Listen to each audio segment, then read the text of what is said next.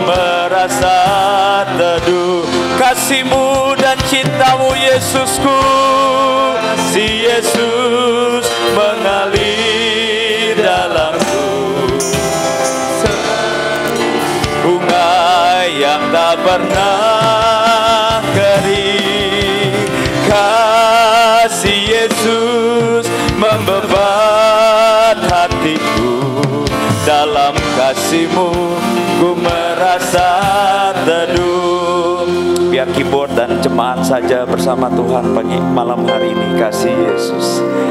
Kasih Yesus indah dalam hidupku.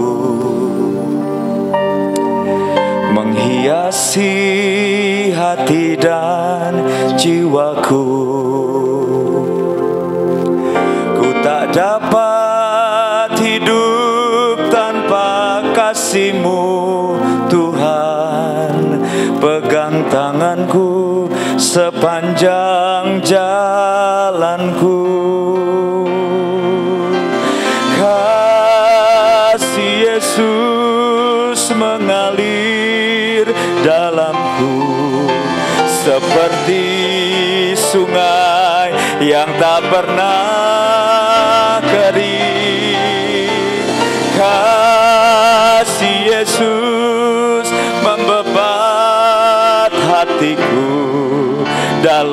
kasihmu. Ku merasa teduh kasih Yesus. Kasih Yesus mengalir dalamku seperti sungai yang tak pernah kering. Dari atas sampai bawah Tuhan. Dari depan sampai belakang kau mengalir biar eklesia penuh dengan kasih mula-mula di hadapan Tuhan malam hari ini. Ku merasa teduh kasihmu dan cintamu Yesusku. Kasih Yesus mengalir dalamku. Seperti sungai yang tak pernah kalau saudara mau mengalami kasih surgawi pagi hari ini buka hatimu responi Tuhan bagi malam hari ini. Hatiku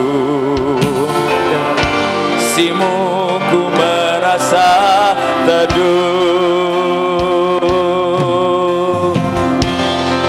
Yang ini engkau saja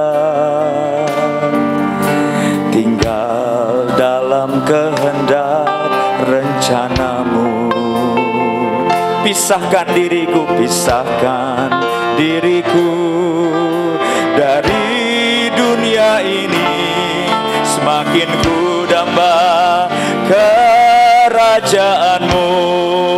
Yang ku ingini Tuhan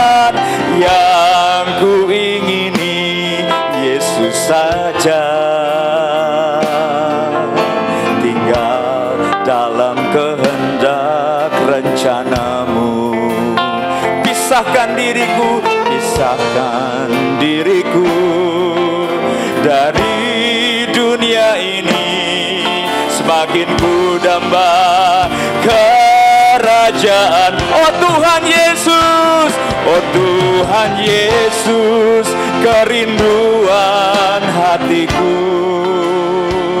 Mutiara tak ternilai harta milikku. Keindahanmu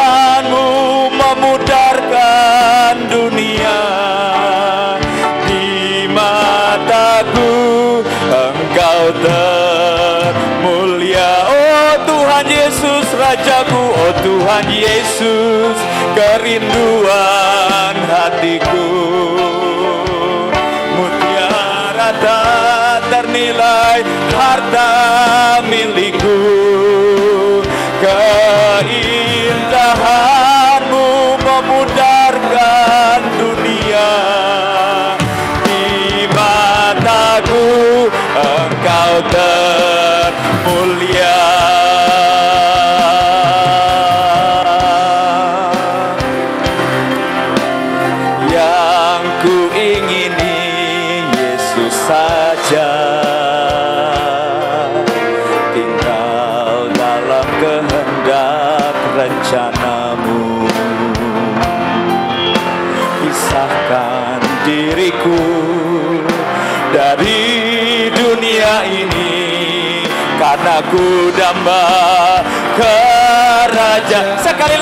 depan sampai belakang sampai atas sama-sama kata yang ku ingini Yesus saja. Tinggal dalam kehendak rencanamu. Kehendak rencanamu. Pisahkan diriku dari dunia ini. Semakin ku damba kerajaan serukan sama-sama oh Tuhan Yesus. Tuhan Yesus kerinduan hatiku. Mutiara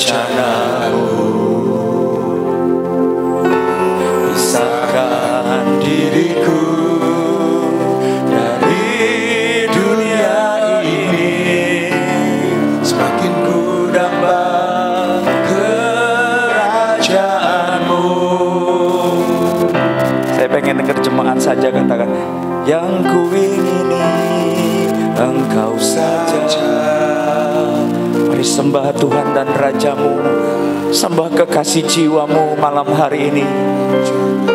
Amin amin amin dan amin. Pisahkan diriku dari dunia ini. Semakin ku damba kerajaan. Jemaat saja katakan oh Tuhan Yesus oh Tuhan Yesus kerinduan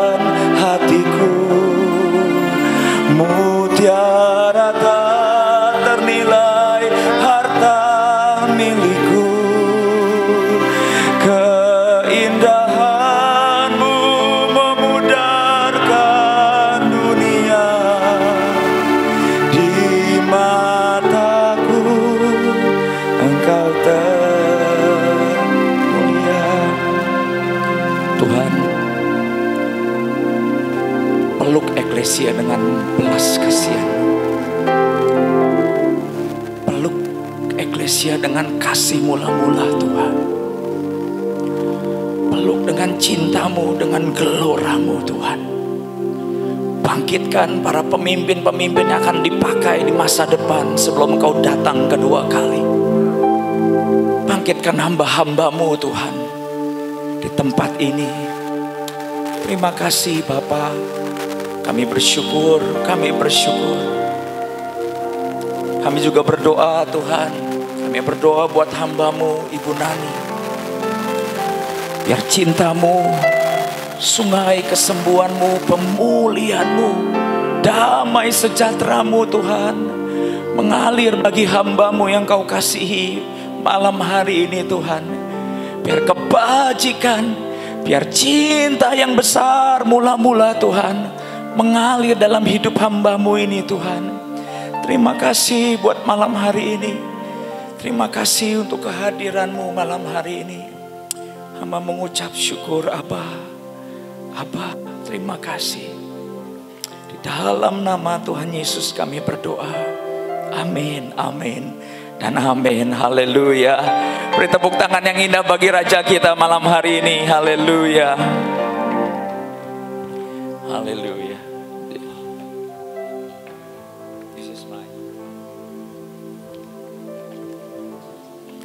Shalom semuanya. Yang di atas, saya pengen dengar suaranya. Shalom. Oke. Okay.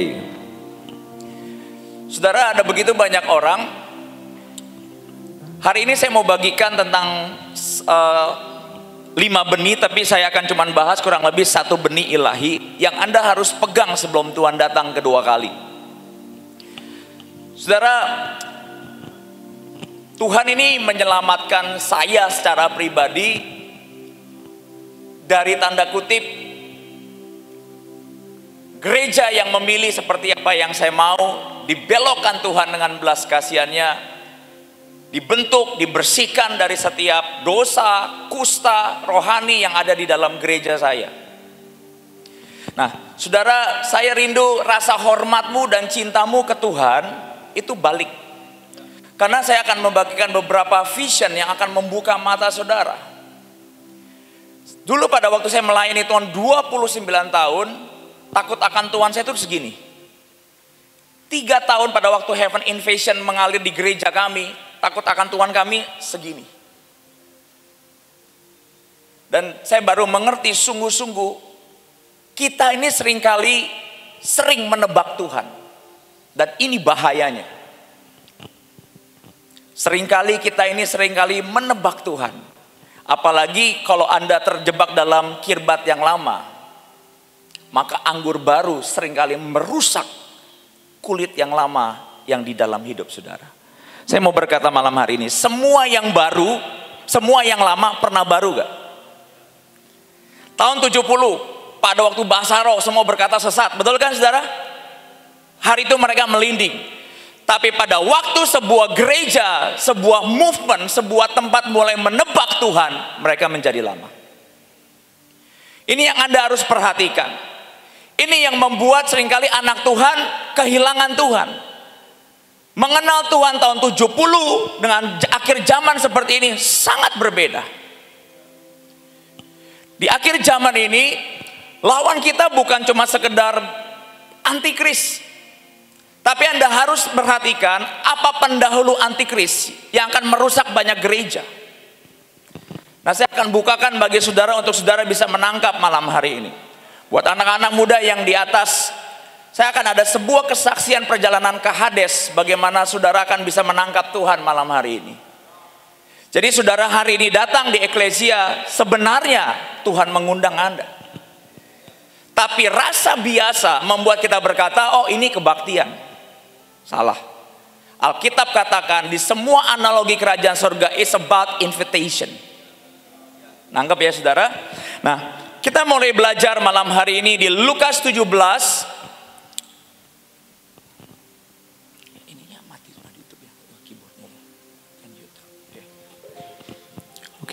Lukas 17 ayat 11 ada sebuah kunci ilahi yang Tuhan mau bagikan malam hari ini. Saya tahu saudara sering kali Anda terbiasa dengan semua yang tanda kutip ilahi. Tapi saya mau berkata, this is another thing. Yang Anda harus belajar. Ya. Monitor keyboard uh, mati hidup mati hidup di sini. Oke. Okay. Oke. Okay. Oh, oke okay, oke. Okay. Oke. Lukas 17 ayat 11 berkata begini. Dalam perjalanannya ke Yerusalem, Yesus menyusur perbatasan Samaria dan Galilea. Ketika ia memasuki suatu desa, datanglah sepuluh orang kusta menemui dia. Mereka tinggal berdiri agak jauh. Kalau saudara tahu, zaman dulu orang kusta harus punya begitu jarak dengan orang-orang yang tanda kutip tidak kusta dan berkata mereka najis. Dan sepuluh orang kusta ini sama-sama berteriak, Yesus guru, kasihanilah kami. Lalu ia memandang mereka dan berkata, "Pergilah, perlihatkan dirimu kepada imam-imam." Dan sementara mereka di tengah jalan, mereka menjadi tahir. Seorang dari mereka ketika mereka melihat ia sembuh kembali sambil memuliakan Allah dengan suara nyaring. Lalu tersungkur di depan kaki Yesus dan mengucap syukur kepadanya. Orang itu adalah orang Samaria. Ayat ini keluar pada waktu kami tim gereja berdoa bersama saya. Tiba-tiba Tuhan Yesus itu hadir secara pribadi. Nah kami sedang membuat satu buku uh, zaman tahun 80, 90 dan 2000 vision itu cuma sekedar lihat Tuhan Yesus itu terang. Nah apa yang kami alami sesuatu yang berbeda. Kami bisa kami sedang membuka sedang um, uh, apa sedang mengumpulkan uh, sebuah uh, vision tentang roh-roh jahat dan bagaimana bentuknya. Termasuk begitu banyak yang Allah kerjakan. Nah pada waktu kami sedang berdoa tiba-tiba di depan saya itu ada benih. Jadi setiap saya jalan ada satu benih. Nah pas dipungut benihnya itu ada nama benih yang pertama adalah benih dari mana engkau berasal Benih ini benih yang sangat penting untuk sebuah perjalanan rohani Anda. Ada banyak orang kehilangan Tuhan, rasanya biasa karena benih ini hilang dari hidup Anda. Saudara, perhatikan kata kunci pagi malam hari ini. Mereka tinggal berdiri agak jauh dan berteriak dari mana kesembuhan 10 orang kusta ini bukan karena apa pun. Karena ayat ini. Guru kasihanilah kami. Kalau saudara hari ini berpikir Anda di sini karena Anda tanda kutip Tuhan butuh saudara. Anda nggak akan mengalami kesembuhan seperti kusta ini. Masihkah ada teriakan di dalam hatimu berkata Tuhan kasihani kami toleh kami, sembuhkan kami. Ataukah saudara bisa berkata, oh hari ini ya kebaktian, maka sesuai iman terjadi. Saudara, pada waktu saya belajar firman Tuhan ini dalam lewat sebuah vision, Tuhan berkata, nak, apa yang menggerakkan hatiku? Teriakan mereka. Mereka berkata, guru, have mercy on me. Nah kalau itu hilang di dalam penyembahan dan pelayanan saudara, bagaimana Tuhan bisa menoleh saya dan saudara? Misalnya Anda datang nyembah, oh ya udah WL, oh saya khotbah, pulang. Maka saya kehilangan sisi Tuhan yang seperti itu. Yang disebut keremukan. Buat orang yang pernah kusta, disembuhin Tuhan, itu segalanya. Tapi berjalannya waktu pada waktu Tuhan mulai memberkati, Tuhan bertanya, kok nggak balik? Kok nggak balik sembilannya? Cuma Alkitab katakan cuma satu yang balik dan berkata, Tuhan ini aku orang berdosa. Dengan Alkitab katakan dengan suara nyaring. Masih nggak saudara nyaring pagi hari, malam hari ini? Kenapa? Karena Anda kehilangan satu ingredients yang berkata, Lord, have mercy on me dan Alkitab katakan Tuhan menoleh ke sembilan ke sepuluh orang itu dan berkata be healed. Kalau Anda kehilangan tatapan Tuhan itu berbahaya sekali dalam hidupmu. Saudara, pada waktu ada satu pengalaman pribadi pada waktu supaya saya nggak ke Oke. Pada waktu saya berapa waktu yang lalu Salah satu pendoa kami ditugaskan Tuhan untuk berdoa sehari 12 jam. Dan di dalam sebuah penglihatan Henok berkata begini, bersiap-siaplah untuk aku bukakan satu satu rahasia untuk gereja-gereja di seluruh Indonesia dan dunia. Dan pada waktu itu Henok mengajak satu anak Tuhan ini ke ke sebuah Hades. Saudara salah satu yang saya kaget saudara adalah Ternyata di Hades itu ada ada tiang-tiang. Tiang tiang gantungan. Terus ada namanya. Pada waktu kami melihat itu ada namanya. Ada yang di, uh, tiangnya itu udah ada yang patah, tapi ada yang masih namanya masih utuh. Tiba-tiba Roh Kudus berhadir di situ dan berkata, "Kuatkan dan teguhkan hatimu. Lihat, perhatikan." Ternyata setiap kutuk dipatahkan dan Tuhan menghancurkan tututan setan, namamu di hadis itu dipatahin sama Tuhan. Dan orang-orang yang susah bertobat, namanya masih di situ. Pada waktu kemarin minggu lalu, saya akan bagikan pengalaman gereja kami supaya saudara belajar. Sekali lagi, bukan untuk saya berkata gereja kami lebih hebat, jauh lah dari hebat. Justru gereja kami dipilih Tuhan karena penuh kusta. Karena selama saya melayani Tuhan, saya berkata, Tuhan have mercy on us. Dan tiba-tiba Tuhan menoleh dan berkata, jadilah sembuh. Teriakan itu jangan hilang dalam hidup Anda. Anda yang di atas anak-anak muda, perhatikan baik-baik. Pada waktu di perjalanan di Hades itu, Anak muda ini dibawa Tuhan ke satu nama dan dipatahkan nama itu dari dari sebuah penuntutan setan. Dan tiba-tiba Roh Kudus berkata, "Itu adalah namamu sebelum aku memanggil kamu." Ternyata di Hades itu setan sudah rancangkan sebu, sebuah peristiwa nama supaya kamu masuk ke sana. Peristiwa Anda bisa ke gereja hari ini itu adalah peristiwa Tuhan mengundang saudara. Saya selalu berkata kepada anak muda, Engkau boleh tidak menghormati Tuhan karena Anda belum dekat dengan kematian. Saya adalah saksi sendiri bagaimana mama saya secara pribadi ber, ber, ber, uh, bersentuhan melihat tanda kutip kematian di depan mata saya. Mama saya sakit cancer dalam enam bulan beliau meninggal.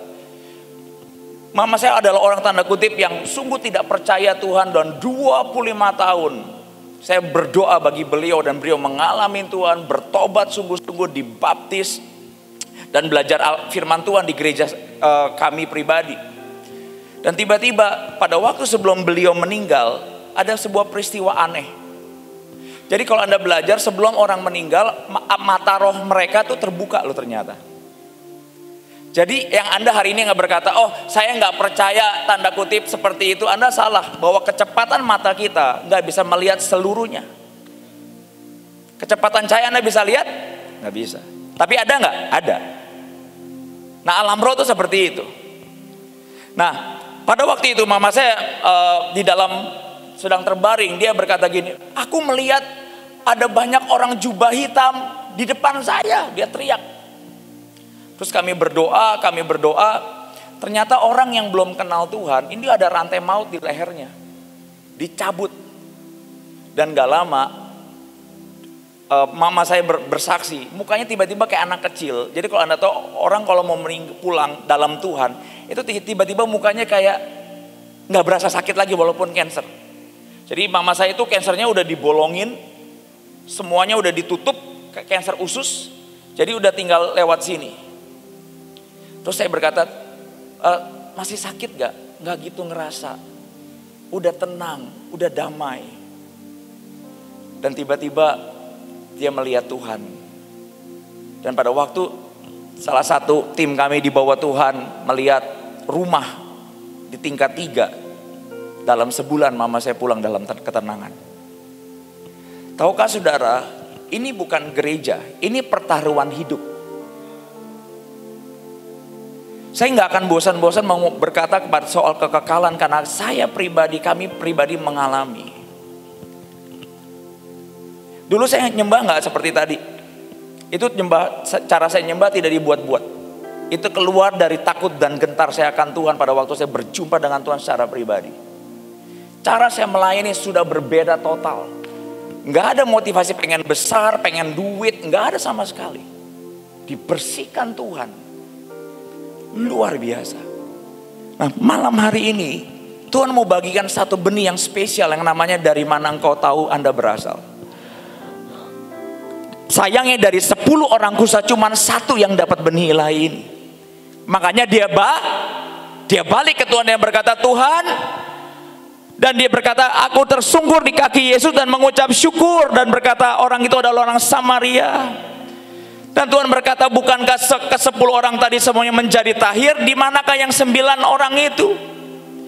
Tidak adakah di antara mereka yang kembali memuliakan Allah selain daripada orang asing ini?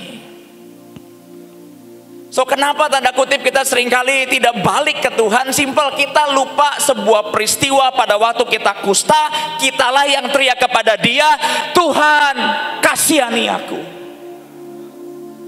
Sehingga kalau benih itu hilang dan tidak menyala dalam kekristenan kita Semua kesuaman masuk dalam hidup kita Ada amin No, mal malam hari ini saya rindu benih yang pertama itu kembali menyala di tempat ini. Saya percaya Bapak Ibu dengan rasa segala hormat saya, Anda saudara pernah mengalami Tuhan begitu indah dan Tuhan berkata belum selesai. Nanti saya akan diajarkan di hari lain bagaimana ada lima benih ilahi yang harus dipegang sampai akhir zaman. Tapi malam hari ini saya pengen setiap saudara mengerti ini baik-baik. Nah, kita buka firman Tuhan kembali di Wahyu. Wahyu 2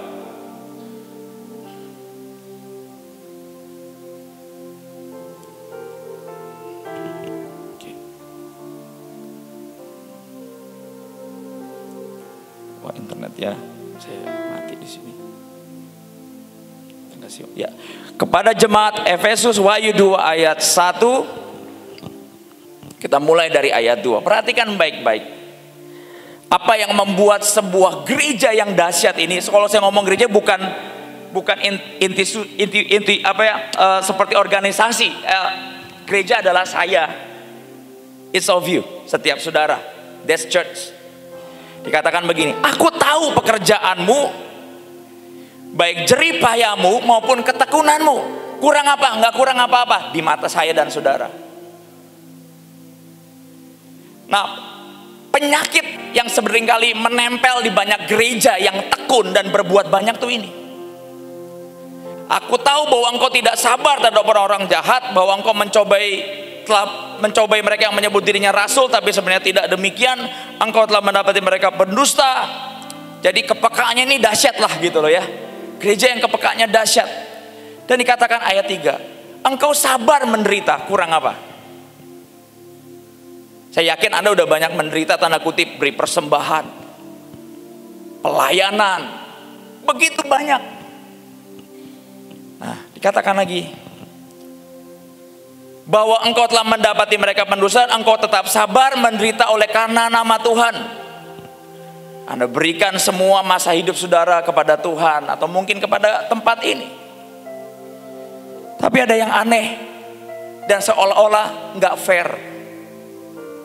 Katakan, namun demikian aku mencela engkau. Loh kok bisa? Ayo. Kalau kita boleh ngomong adil, kita akan berkata, Tuhan tempat lain aja Tuhan ayatnya. Kita udah menderita buat Tuhan, kenapa masih dicela tanda kutip? Ternyata timbangan Tuhan dan timbangan mata manusia beda.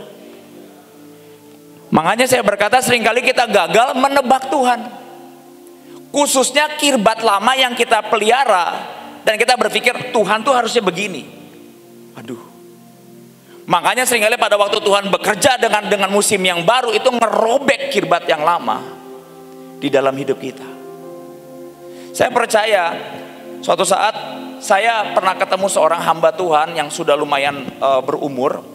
Beliau salah satu penggerak full time tahun 80-an. Waktu Roh Kudus datang di seluruh daerah Jawa tahun 70-an. Nah, di zaman itu mereka dibilang sesat sama kirbat lama. Tapi tahukah saudara, tanpa sadar pada waktu mereka jadi leading the change, pada tahun 2000 mereka yang nunjuk orang sesat. What is that? Kirbat yang lama bisa membuat saudara salah menebak Tuhan. Setelah pandemik ini, yang terjadi adalah kitab Yoel 2. Setelah semua badai penyakit di kitab Yoel 2, Alkitab katakan maka generasi Yoel sedang dibangkitkan. Dan generasi ini tidak boleh tanda kutip kalah di timbangan. Nah, saya pelajari ayat ini. Tuhan sudah tekun. Peka, Alkitab katakan tidak sabar, oh, dia bisa membedakan orang jahat, orang baik. Alkitab juga katakan tetap sabar dan menderita. Outlooknya bagus.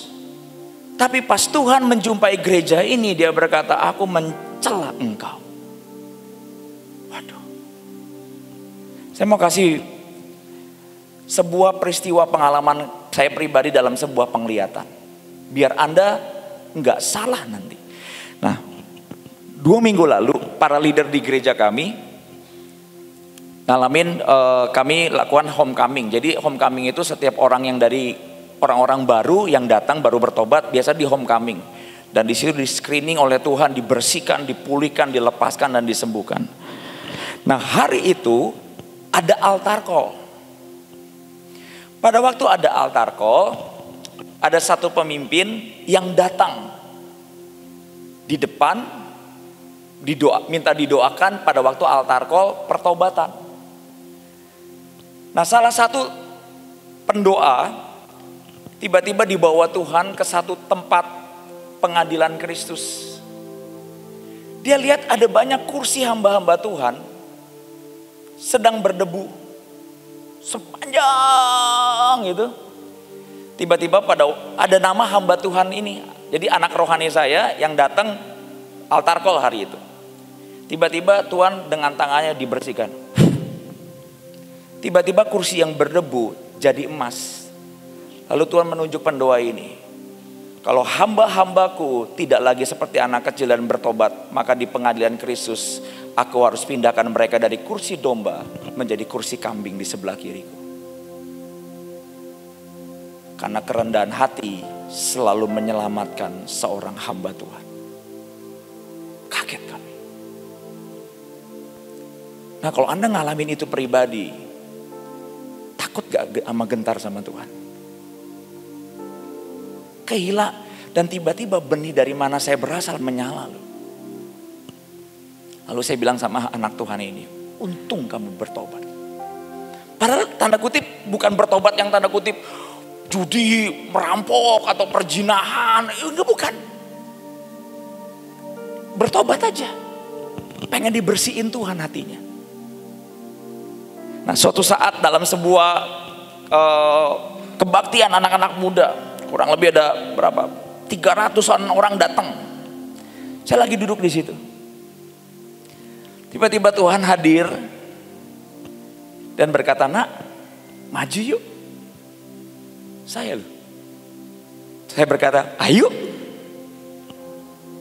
Saya berlutut di depan. Dan Tuhan berkata, nak, itu yang aku mau. Kenapa hambaku bisa berubah dari hati domba menjadi kambing di akhir zaman? Karena mereka berpikir pertobatan bukan lagi menjadi bagian dalam perjalanan rohani mereka. Sehingga yang membuat nama mereka berdebu dan aku harus pindahkan ke bagian sebelah kiri. Saudara, gereja Efesus sering kali membuat saudara salah menebak Tuhan.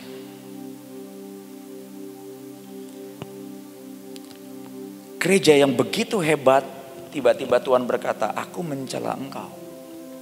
Bukan setan loh yang nuntut. Tuhan berkata, aku mencela engkau. Kenapa, Pastor?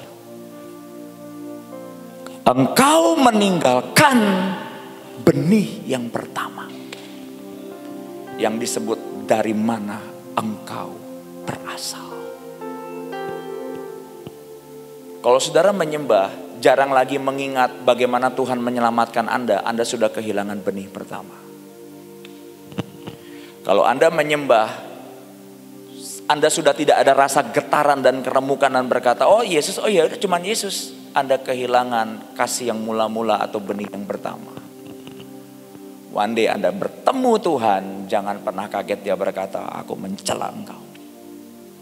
Kamu tukarkan benih yang pertama di mana aku melihat engkau dengan belas kasihan. Engkau tukarkan dengan pelayanan, taburan, pengorbanan, ketekunan, dan penderitaan. Saudara, ada sebuah vision yang membuat saya terus bertobat sampai hari ini. Wah, pertobatan itu indah. Amin. Pertobatan itu bukan Anda menunjuk orang bertobat, bukan. Pertobatan itu adalah bagaimana Anda diluputkan dan mulai digendong Tuhan kembali. Indah gak? Indah. Yang membuat Anda susah bertobat adalah setan merekam dan memberikan sebuah memori pertobatan itu tertuduh, ditusuk dan atau tanda kutip ditunjuk pendeta. No, salah besar. Pertobatan itu adalah proses Tuhan menggendong engkau lagi seperti seorang anak kecil pertama kali dia menggendong engkau. Saya yakin yang membuat satu orang kusa ini balik adalah memori yang berkata, aku diselamatin Tuhan. Yang sembilannya pas sembuh, gone.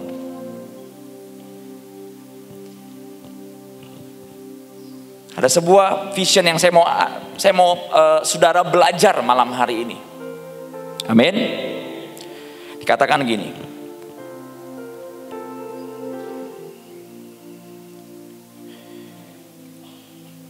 Pada waktu kami saya berdoa di, di tengah doa saat teduh Tuhan Yesus memberikan penglihatan di mana saya seketika berdiri sebuah gerbong kereta dan Tuhan Yesus berdiri di sana. Saya melihat ada kereta yang sedang melaju cepat.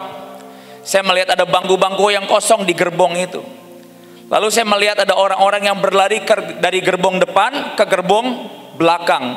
Yang Tuhan Yesus dan saya berdiri semuanya berlari ke gerbong belakang. Kemudian saya melihat orang-orang itu semakin banyak ke gerbong belakang. Begitu menumpuk, saya melihat di gerbong belakang itu semakin menumpuk dan gerbong itu semakin penuh. Lalu saya menoleh ke Tuhan Yesus. Dan Tuhan Yesus berkata kepada saya, semua orang yang berlari ke belakang adalah pemimpin yang mulai tidak menjaga integritas mereka. Don't get me wrong. Seringkali kita mengkotakan bahwa integritas is about uh, misconduct atau moral, immoral failure. No, no, it's more than that kok di hadapan Tuhan. Anda belajar belajar malam hari ini. Dikatakan begini, apa tuh integritas yang luntur di hadapan Tuhan? Pemimpin yang mulai merasa nyaman dan pemimpin yang mulai menaruh rasa aman mereka terhadap prestasi mereka. Dan dikatakan begini, rasa aman terhadap prestasi mereka, terhadap anak di bawah mereka. Nah, kalau saudara hari ini para leader hadir, kalau Anda lebih suka bergaul dengan orang yang di bawah dibanding dengan pemimpin saudara, ada yang sakit dengan rohani Anda. Nangkap saudara? Leader must stay with leader. Dan dikatakan, saya bertanya kepada Tuhan dan Tuhan bukankah mereka semua sedang berjuang memberikan yang terbaik untuk untuk engkau saudara sekarang gereja minggu depan kami sedang dalam penugasan 12 jam berdoa bagi Indonesia saya berkata Tuhan ini mampu nggak ya 12 jam berdoa? Saya saya saya mau katakan saya itu udah pernah di titik Indonesia mau ngapain terserah. Hari ini setelah saya bertemu Tuhan, ternyata di hati Tuhan ada Indonesia. Dan saya disuruh Tuhan, Nah, maukah kau dengan gerejamu berdoa 12 jam setelah Paskah jadi kami Sabtu kan ada acara pasca. Jam 12 malamnya langsung mulai doa. Hanya Anda harus doain kami. Supaya kami nggak masuk angin. Minimal nggak kembung. Dan dikatakan begini. Jadi kalau kalau saya berkata kami sibuk, kami super sibuk. Kesembuhan ilahi setiap hari Rabu, Selasa, pasukan doa. Dan itu tidak bukan saya yang berorganisasi. Gereja saya pribadi sudah tidak ada lagi gereja Beri Prata udah nggak ada lagi. Sudah dikatakan gerejaku kata Tuhan. Jadi kami dua Selasa Roh Kudus yang hadir. Jadi kalau perjumpaan kami dengan Roh Kudus biasanya lewat Roh Kudus itu pribadi. Salah satu pribadi Tuhan.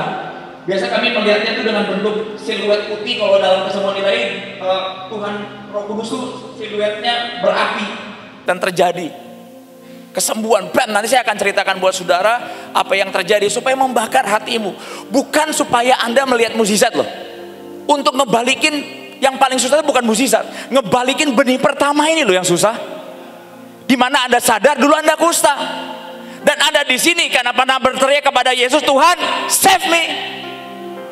Nginget itu yang susah. Dan itu awal kasih mula-mula. Dan dikatakan begini, Tuhan bukankah mereka sedang berjuang memberikan yang terbaik untuk engkau? Tuhan Yesus tersenyum dan berkata, nak, gelora mereka dalam melayani sambil terlihat di gereja, pelajari baik-baik. Seringkali jauh lebih besar daripada gelora mereka menantikan aku di saat teduh dan jauh lebih besar daripada gelora mereka untuk terus beriman bersamaku. Makanya setan nggak pernah takut kalau Anda berbuat banyak bagi Tuhan. Garis bawah ini.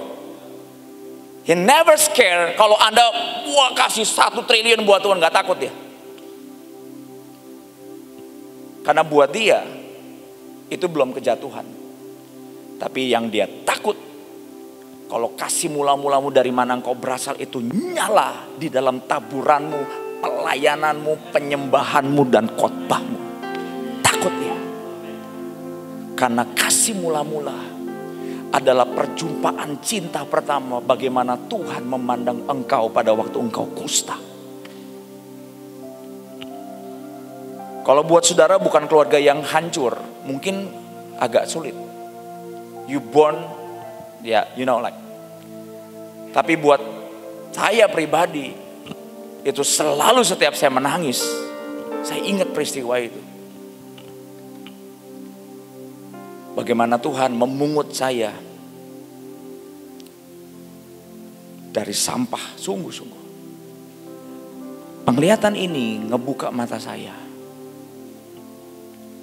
Ternyata setan nggak takut dengan kegiatan pelayanan Setan takut pada waktu Anda memberikan dengan cintamu, kasihmu, penyembahanmu dengan gelora cintamu bagi Tuhan. Dan dikatakan begini, coba Anda malam hari ini coba jujur sama Tuhan. Nah ini bagian ini yang membuat sulit orang bertobat. Kalau nggak jujur, apakah pelayanan menabur doa atau banner atau khotbah atau nyembah lebih bergelora di hatimu dibanding engkau berjumpa Tuhan di saat teduhmu?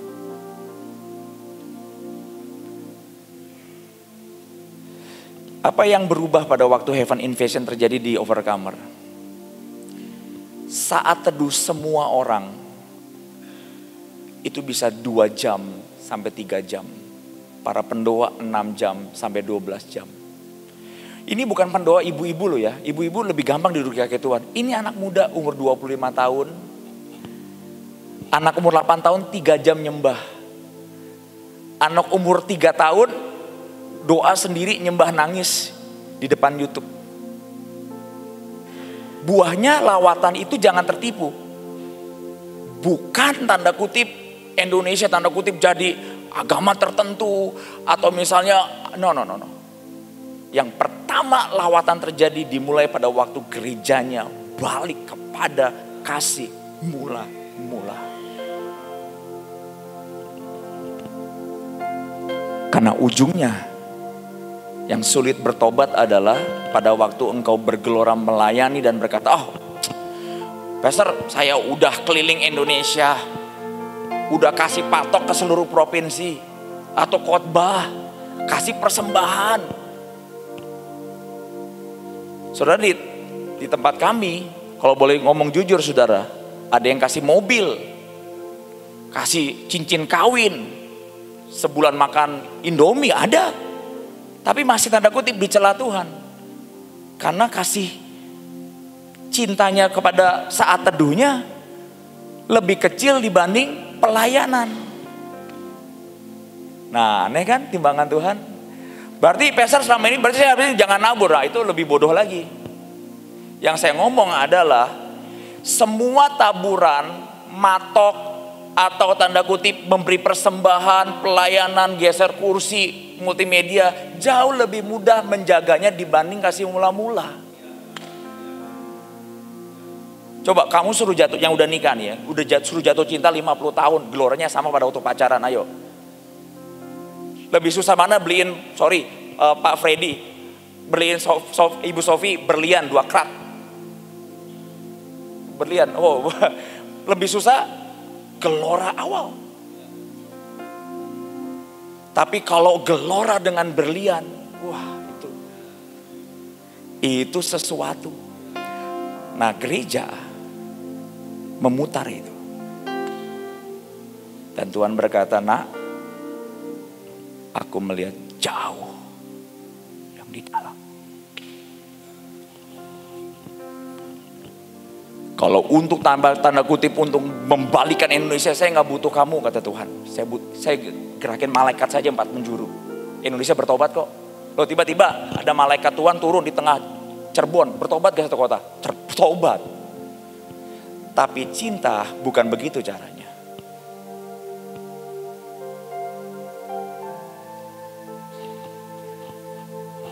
Ada amin. So malam hari ini, besok Eklesia punya doa doa pagi. Istilah kasarnya saat teduh saudara besok pagi bersama-sama satu gereja.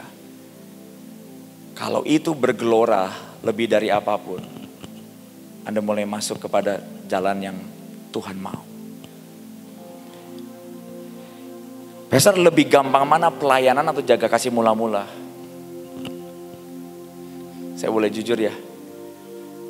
Lebih gampang khotbah dibanding jaga kasih mula-mula dan Tuhan tongkrongin. Di mana peser Tuhan tongkrongnya? Di saat teduh. Saya ada sebuah kejadian, saya cuma cerita ke Ibu Nani, saudara tiga bulan terakhir, saya tuh kalau doa di meja, di meja kerja. Biasa saya ngetik semua di situ. Nah suatu saat, salah satu asisten saya suka bersihin meja. Dia berkata, Pastor, ini siapa yang ngotorin meja? Saya berkata, siapa yang ngotorin? Karena ini minyak semua. Lap aja saya bilang. Dilap, Besoknya timbul lagi, lap lagi. Lalu saya ngomong sama mbak, kalau bersihin meja yang bersih. Dia bilang, Pak, saya bersihin meja, keset. Tahu keset di atasnya bersih, set set. Lalu ini apa? Pas saya lihat, saya nggak pernah ngecek. Ada telapak tangan. Pas saya gini. Lalu otak roh ketidakpercayaan saya masih bilang, Kebetulan. Padahal nggak ada yang berani masuk kamar saya, saudara. Selap pakai detol. Pas di rumah kok kamar kosong, saya mandi. Keluar di rumah kamar kosong. Pas saya duduk mau pakai sepatu ke gereja, saya giniin. Loh, tadi ini saya baru lap. Minyak semua. Saya langsung videoin. Tiba-tiba Tuhan ngunjungin satu salah satu. Jadi Tuhan sedang bangkitkan generasi awal di gereja dengan cara yang nggak masuk akal. Vision yang mereka dan saya alami itu bukan vision yang oh lihat Yesus terang, terang, nggak nggak gitu. Pribadi dia ngomong dan kami ada ada rat kami simpan begitu banyak arsip penglihatan yang tentang kedatangan Tuhan dan segala macam. Termasuk saudara pada waktu itu tiba-tiba Tuhan berkata, nak tahu kenapa meja gembalamu penuh minyak? Perhatikan, ternyata setiap saya tidur, pulang pelayanan, malaikat ngurapin meja kerja doa saya. Sampai hari ini masih uh, terjadi, saya terus videoin. Masuk akal gak? Enggak. Tapi apakah itu yang berharga? Bukan. Yang susah dijaga adalah benih yang pertama. Kasih mula. Nah ini videonya. Coba saya, nah kameranya susah jadi, uh, nah Seminggu tiga kali keluar. Lihat saudara. Jadi sekarang saya kalau ngurapin kepala,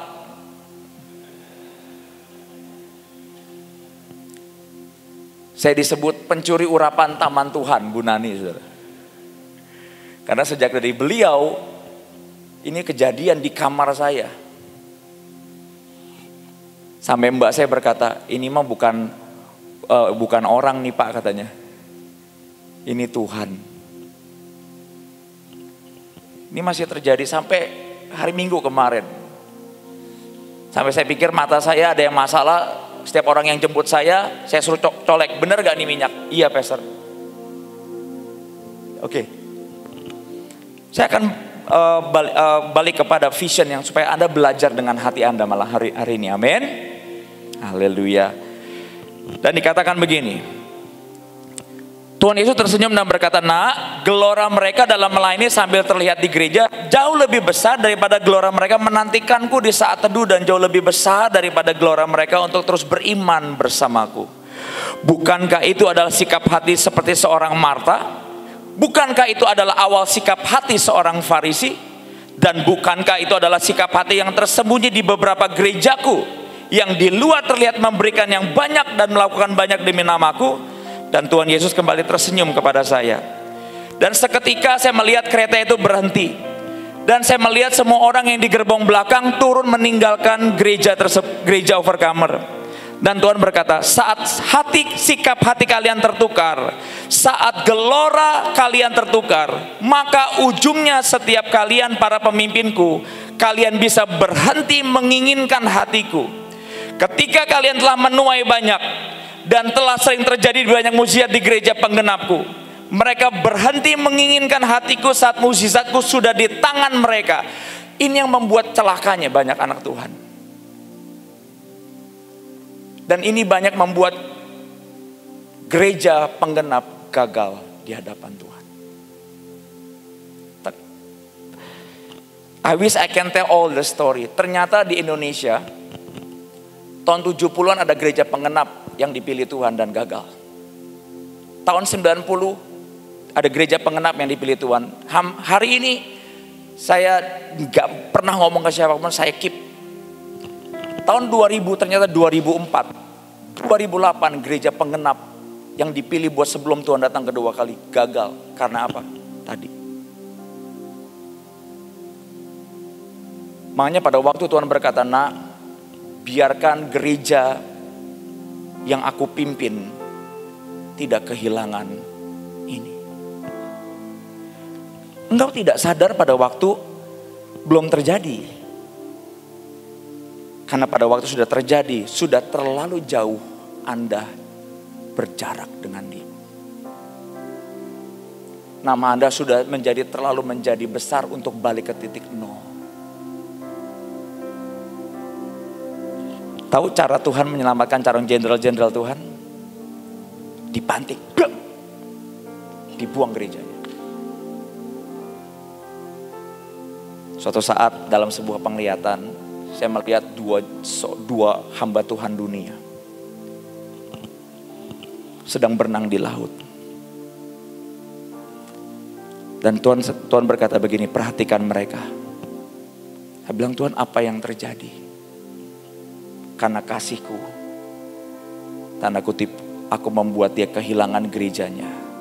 Dan dia sedang berenang kembali, kembali kepada hati hambanya.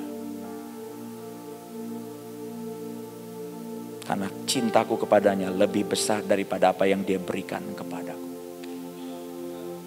Saya berkata, gila loh ini. kita nih ketipu di sini. Makanya Asher. Dulu saya adalah orang yang jarang senyum. Sekarang dari bawah sampai atas, saya lain satu-satu. Saya senang banget ketemu dengan semua orang-orang hamba-hamba Tuhan di tempat ini dari semua dari bawah sampai atas. Cuman gara-gara pada waktu saya sedang jalan ke green room, tiba-tiba Tuhan berjalan di samping dan berkata, nak senyum. Oh iya senyum. Anda, anda boleh tanya anak-anak saya, saya susah senyum. Kelihatan nggak?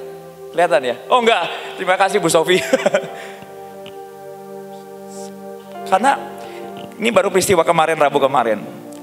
Kami pada waktu kami sedang berdoa, kami ngalamin kehadiran Tuhan tapi nggak ada Tuhan.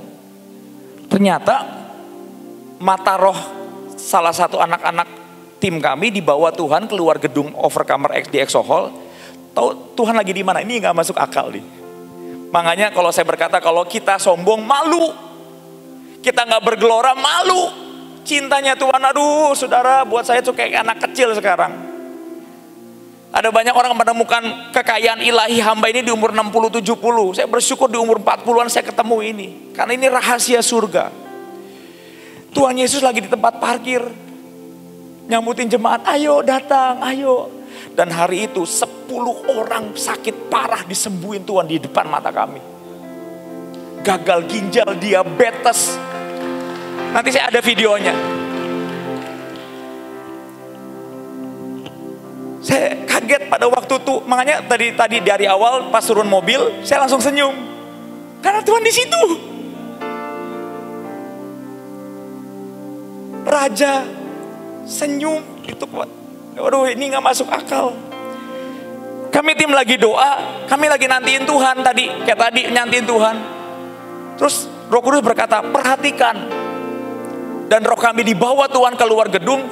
Terus kami jadi vision yang kami alami itu seperti apa ya? Film apa? Anda pernah ke Disneyland Harry Potter? Nah kurang lebih begitu ada yang rohnya dibawa keluar, nyata dan segala macam. Saya pribadi udah siap, udah siapkan diri kalau dibilang setengah gila nggak apa-apa. Yang penting saya ngalamin gitu, saudara. Bayangin, mana ada ajaran pada waktu kami dibawa keluar Tuhan di atas gedung, saya lihat Tuhan Yesus, kami lihat Tuhan Yesus lagi di tempat parkir, gitu jemaat, ayo datang kepada kerajaanku. Dari tempat parkir, Malu nggak kalau minggu depan kita nyembah? Oh, hari ini sedangkan raja kita lagi di tempat parkir. Ayo nak datang. Sejak itu di dalam penyembahan remuk saya.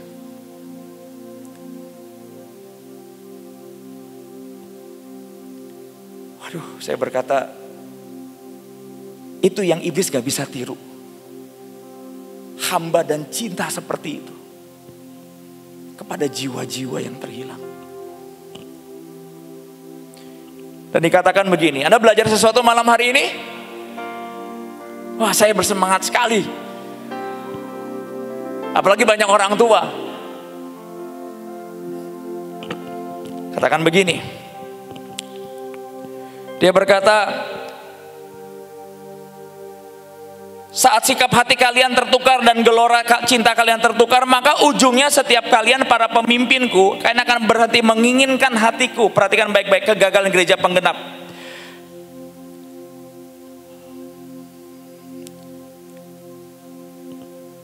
Ketika kalian menuai banyak, perhatikan baik-baik. Ini daerah yang paling berbahaya. Ketika kalian menuai banyak, dan itulah yang sering terjadi di gereja penggenapku. Mereka berhenti menginginkan hatiku saat mukjizatku sudah di tangan mereka. Mereka berhenti menginginkan hatiku saat kelimpahan sudah di tangan mereka. Mereka berhenti menginginkan hatiku saat tuayan sudah menjadi rasa aman mereka. Dan mereka semua adalah hamba-hambaku, pemimpin-pemimpinku yang kutimbang begitu ringan di hadapanku.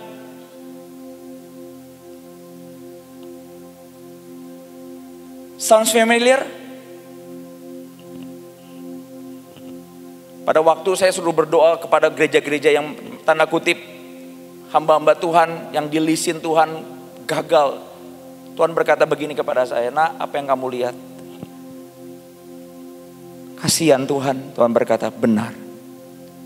Belas kasihanku buat mereka. One day Tuhan berkata tolong mereka. Buat mereka yang rendah hati dan percaya. Kemarin ada satu hamba Tuhan datang ke tempat kami. Dia ngikutin overcomer udah kurang lebih 4 tahun. Hamba Tuhan besar. Saya kaget. Jadi salah satu uh, anak, uh, jadi kalau kalian lihat pendoa kami, itu nggak ada yang S1, lulusan SMA mau kuliah nggak ada duit. Jadi nggak mungkin punya hikmat seperti tadi itu nggak mungkin, karena kami tahu ada yang dulu tukang palak, Chinese tukang palak karena saking miskinnya. Ada yang keluarganya udah hancur-hancuran. Wah pokoknya generasi Yoel yang Anda pikirkan itu generasi orang hebat, Anda salah besar. Kata Tuhan udah terlalu banyak yang begituan. Aku pilih yang beda-beda dikit lah kata Tuhan sekarang. Dan hamba Tuhan ini datang empat, empat tahun liatin overcomer. Nah suatu saat pendoa kami dapat sebuah vision. Pastor, saya dapat vision. Ada satu hamba Tuhan sedang liatin YouTube overcomer. Saya berkata, ngaco. Nggak mungkin lah liatin gereja jelek kayak kita. Pas hamba Tuhan itu datang, tiba-tiba pas saya lagi di luar negeri, saya SMS, Tuhan berkata lagi saat teduh, saya lihat wajah hamba Tuhan ini. Waduh, SMS kata Tuhan. Saya SMS, Pak, Pastor, thank you udah bantu tempat kami uh, dari kebakaran segala macam. Saya berkata, saya mau mampir ke tempat kamu. Waduh, saya berkata, oke, okay, oke, okay, oke. Okay. Lalu pas dia datang, dia berkata gini, sudah empat tahun saya melihat di Youtube gerejamu. Kaget saya. Dan pada waktu dia ikut doa di hari Selasa, dia ngomong begini. Ini sih gila loh. Gila. Ini lebih dahsyat daripada Ed Buri. Dia ke Ed Buri kemarin waktu ke Amerika. Ini gila. Dia berkata, Pesa, do you realize gerejanya itu ribuan loh. Lalu tiba-tiba Tuhan berkata begini nak, aku pernah berkata kepadamu, aku lahir di Bethlehem. Aku tidak memilih Yerusalem. Bukankah apa yang kuberikan terjadi?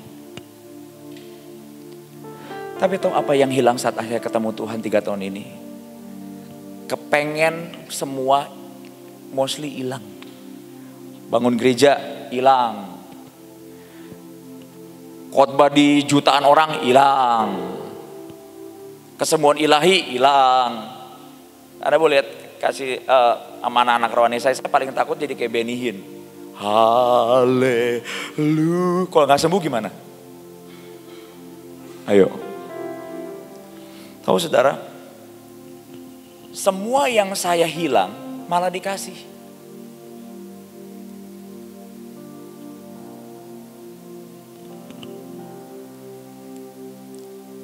Minggu ini Roh Kudus hadir, dia, dia berkata begini dalam dalam saat teduh kami. Nah, mau nggak kamu beriman? Sabtu ini 50 orang dibaptis. Waduh. Saya berkata Tuhan di akhir zaman ya maksimal tuh 10 Apalagi kalau udah gereja. Di Jakarta lagi. Tahu empat hari sebelum jadi hati saya lagi di sini nih saudara bukan saya lapar dak dikduk ada yang ajaib tiba-tiba anak-anak saya SMS pastor this week sudah ada 37 orang mau dibaptis gila saya berkata 37 orang siapa yang di parkiran Yesus Coba. Masihkah saudara mau datang ke Tuhan dengan dengan hati biasa? Masihkah Anda menyiapkan lagu tanpa gelora? Atau menyembah tanda kutip, oh ya udah ini cuma sekedar kebaktian biasa tanpa tanpa Anda sadar Anda kehilangan in, king invitation. Eklesia Jangan kehilangan ini. Ini live gereja-gereja Indonesia, jangan kehilangan ini.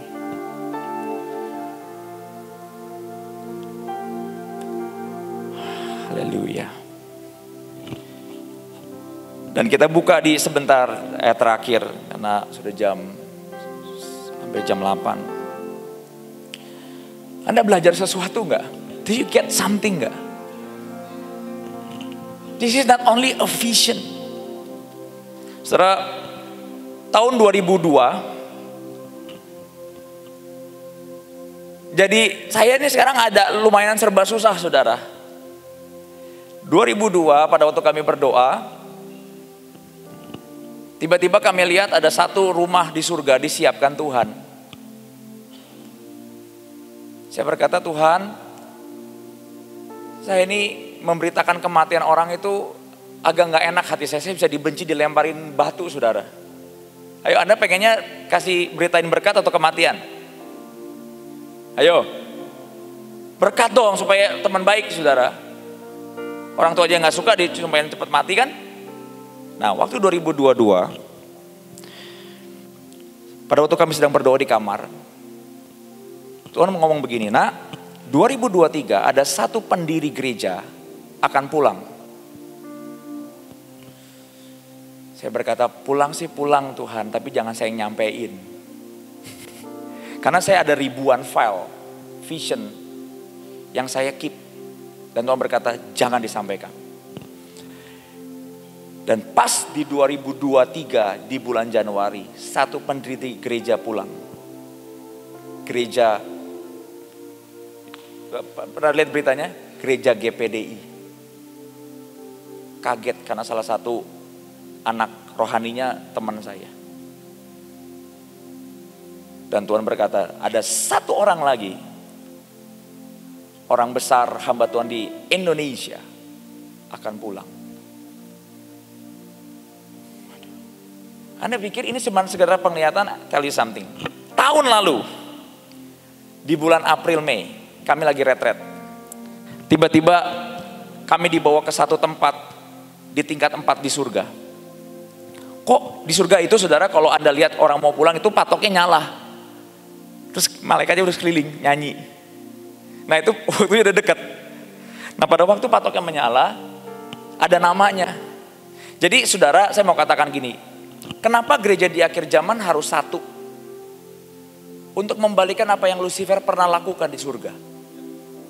Makanya dia benci kesombongan. Alkitab katakan tujuh hal yang aku benci. Salah pertama dia katakan adalah hati yang sombong. Karena karena itu eh, tanda kutip Lucifer pecah. Dan pada waktu itu di kalau di surga tulisannya gini, hamba Kristus, hamba overcomer, hamba peserberry di depan palang rumahnya. Jadi kalau anda orang Kristen ada kutip suka independen, surgamu biasanya tingkat satu. Eh beneran, ini beneran. Anda kurang percaya kelihatannya. Nanti anda di surga misalnya contoh salah satu pulang akan disebut hamba Kristus, hamba eklesia, hamba Bunani. Baru tahu ya? Sama.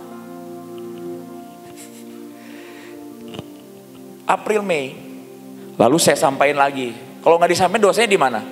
Saya. Susah nggak beritain orang mati? Misalnya saya ngomong sama mama saya, mam, dua bulan lagi mati. Ada yang mau begitu anak? Saya mendingan diem. Langsung diketok kalian anak kurang ajar gitu, minta warisan gitu. Padahal nggak ada warisan juga saudara. Karena kami orang yang melarat, miskin kami. Dan bulan April, Mei, jadi itu salah satu ketua komsel, kita bersuka cita dong. Wih rumahnya di surga udah hampir jadi, kita pikir 10 tahun lagi. Saya kasih tahu, eh rumahmu udah mau jadi. Tapi saya polos kayak anak kecil, artinya umurnya pendek. Tapi saya pikir kan satu tahun seribu tahun buat Tuhan. Jadi saya pikir masih lama gitu, sepersepuluhnya berapa tahun gitu. Satu persennya atau 0,1 persen ya 10 gitu kurang lebih. Lalu saya bilang, oh, oh puji Tuhan ya Pastor, bulan Januari kemarin, Pas selesai doa, diranjang, meninggal. Ayo, kamu pikir vision itu hantu? Vision itu cuma sekedar ngeliat terang gitu dan Tuhan ngomong enggak.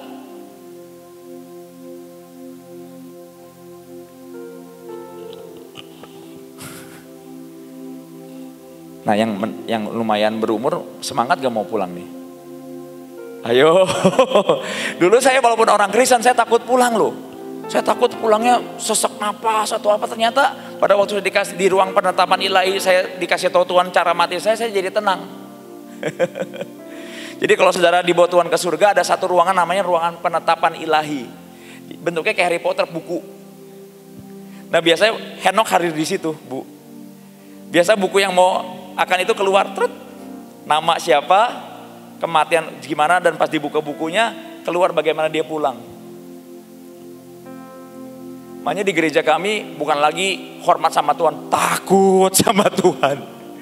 Karena kejadiannya terlalu too obvious dari kematian Pastor David Yonggicho.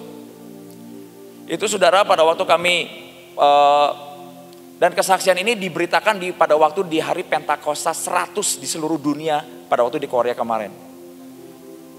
Berita ini masuk koran majalah Singapura. Ada satu pendoa di Indonesia tanda kutip mereka berkata meramalkan kepulangan seorang hamba Tuhan besar. Dan hari itu Pastor Kong bersaksi di seluruh hamba Tuhan seluruh dunia. Tapi apakah itu yang paling indah? Bukan. Kalau Tuhan lihat si orang kusta ini punya kasih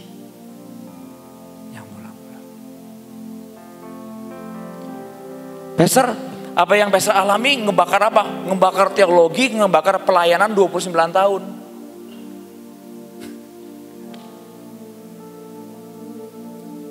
Nanti di buku terbaru kami akan ada ada kita akan buka 39 roh jahat yang menyerang overcomer dan mengagalkan penggenap. Lucifer itu punya enam jenderal yang menghancurkan gereja penggenap dan di cincinnya ada tulisan. Saya nggak ada waktu untuk banyak bahas. Saya tutup dengan sebuah penglihatan ini. Supaya eklesia bersemangat. Apa yang Anda lakukan gak ada yang sia-sia. Amin. Di ruangan penetapan ilahi, ternyata ada Henok bu di situ. Henok itu ternyata panitia kerajaan surga. Dia menyebut Bapak di surga itu yang lanjut usia atau uh, Elohim. Dan Henok ngomong begini, Jangan percepat kepulanganmu dengan kebodohan. Jadi ada nama-namanya di over. Jadi pada waktu itu, pada waktu kebaktian, kami tim ada satu yang dibawa Tuhan ke surga, melihat bagaimana kematian dirinya sendiri. Enaknya jadi pendoa, melihat kematian dirinya sendiri, kematian gembalanya dan beberapa orang leadership pastoral di gereja Overcomer.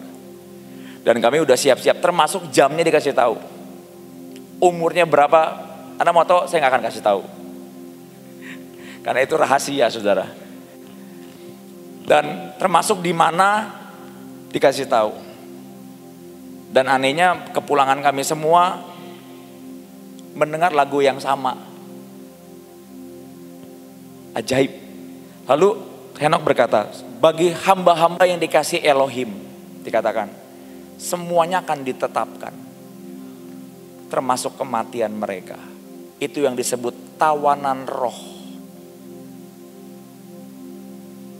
Saya lagi coba gambar, suruh gambar muka Henok.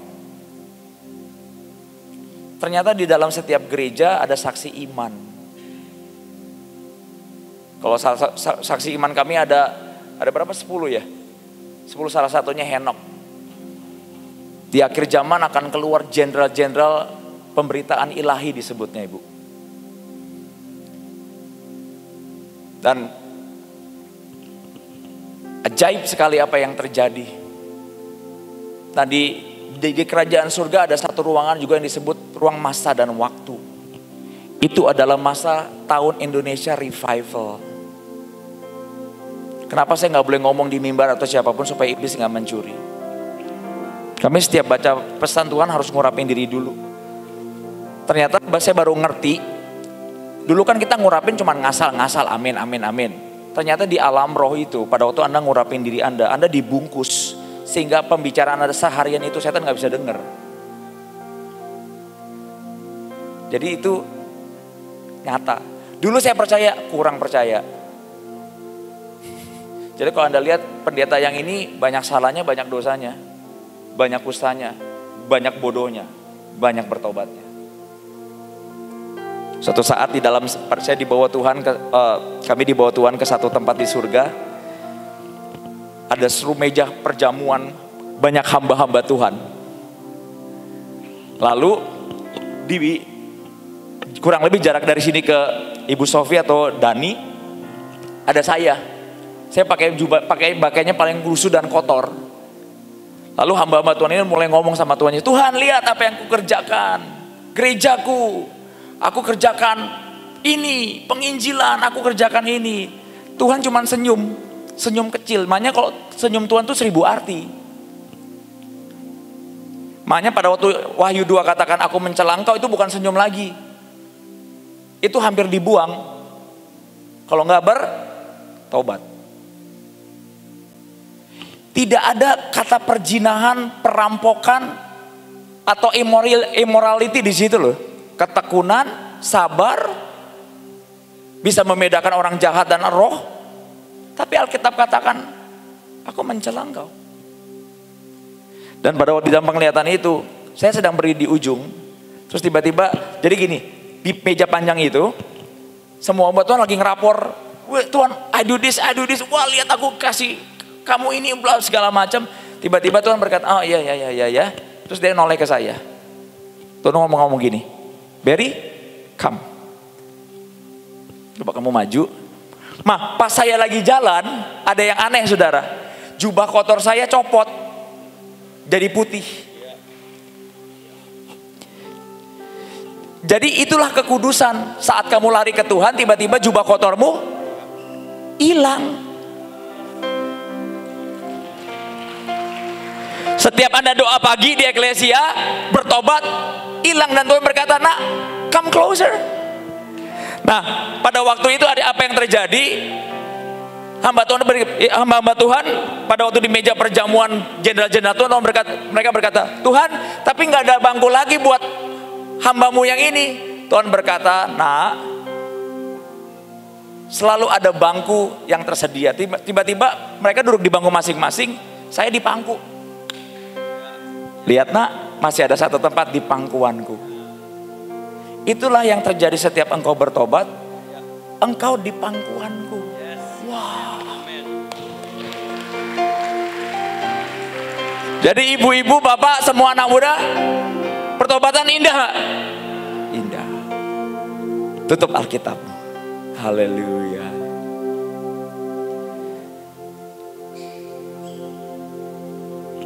Kita mau sembah Tuhan tadi satu lagu.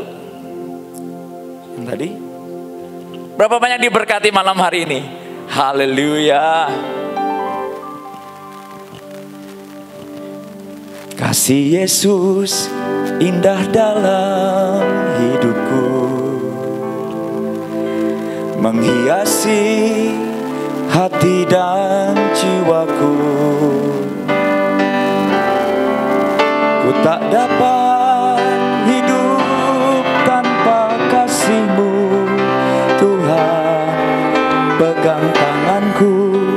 sepanjang jalanku. Sekali lagi kasih Yesus indah. Kasih Yesus indah dalam hidupku. Menghiasi hati dan jiwaku. Ku tak dapat hidup tanpa kasihmu pegang tanganku sepanjang jalanku. Kasih Yesus mengalir dalamku seperti sungai yang tak pernah kering.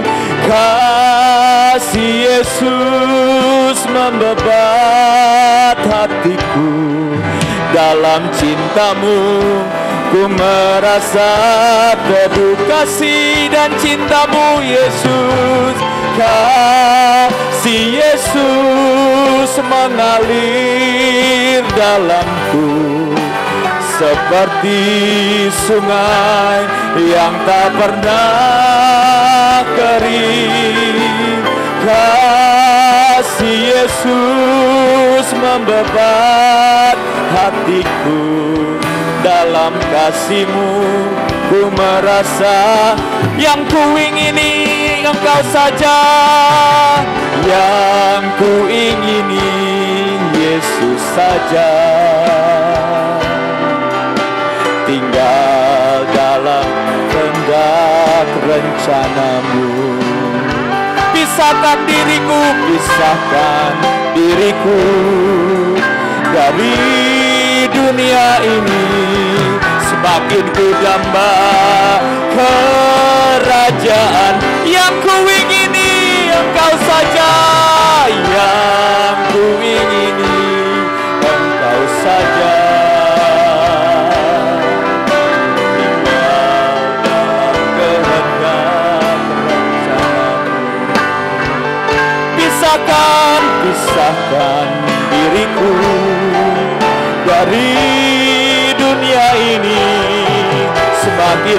ku damba